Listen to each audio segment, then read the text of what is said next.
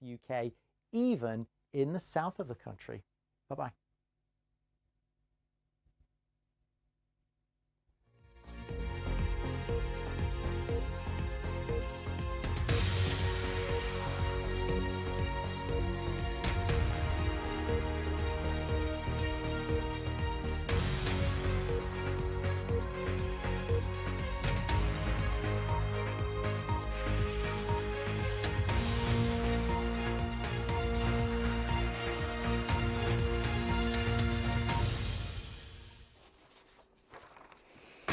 Hello, this is BBC News, and these are the latest headlines in the UK and around the world.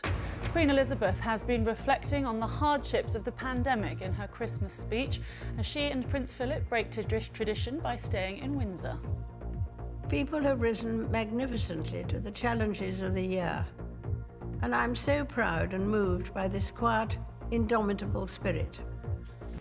European Union ambassadors get details of a post-Brexit trade deal in a Christmas Day briefing led by Michel Barnier. Police in the US city of Nashville in Tennessee say a huge explosion in the city centre was a deliberate act. At least three people are injured. And Pope Francis gives his Christmas Day address, urging all nations to share COVID 19 vaccines and calling for peace in war torn regions.